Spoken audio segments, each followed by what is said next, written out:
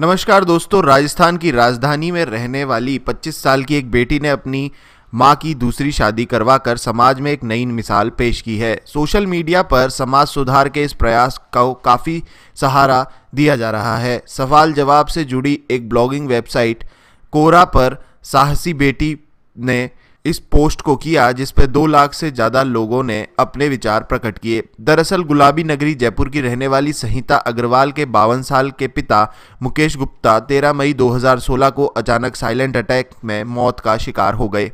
संहिता के मुताबिक, यह उनके लिए एक बड़ा सदमा था क्योंकि पिता बिल्कुल बीमार नहीं रहते थे, कभी किसी ने ऐसा सोचा भी नहीं था। उस गमी के बाद संहिता की माँ गीता अग्रवाल डिप्रेशन में चली गई और हर पल दुखी रहने लगी। संहिता ने बताया कि पिता के निधन के छह महीने बाद कोई राहत नहीं मिल रही थी।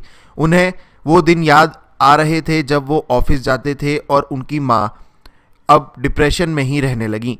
संहिता अग्रवाल ने सोशल मीडिया प्लेटफॉर्म के ज़रिए बताया कि जयपुर के बाद उसकी गुड़गावा में जॉब लग गई तो घर में माँ अकेली रहने लगी और उनको अकेलापन इतना खलने लगा कि वह टीवी चलाकर सोने लगी।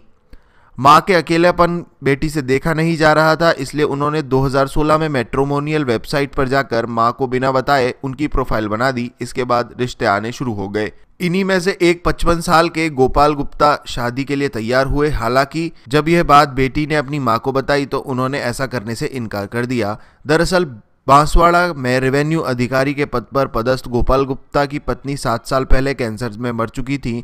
उसके बाद से वह अकेले ही रह गए थे। इसी बीच संहिता की माँ गीता का मेजर ऑपरेशन हुआ तो गोपाल को इसकी खबर लगी। रिश्ता तय न होने पर भी गोपाल गुप्ता हॉस्पिटल में गीता की तीमादारी करने पहुँच गए और उनका यही निस्वार्थ भाव देखकर उनका मन पिघल गया और दोनों ने शादी कर ली।